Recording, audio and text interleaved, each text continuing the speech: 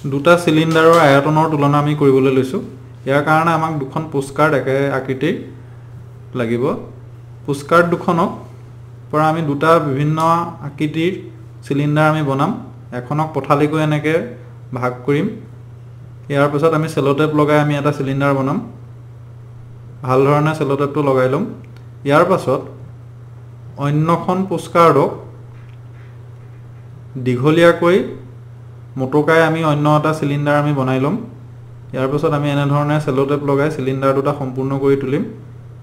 এতিয়া প্ৰশ্নটো হ'ল যে কোনটো চিলিণ্ডাৰৰ আয়তন আটাইতকৈ বেছি বা কোনটোৱে বেছি পৰিমাণৰ সামগ্ৰী ধৰি ৰাখিব পাৰিব?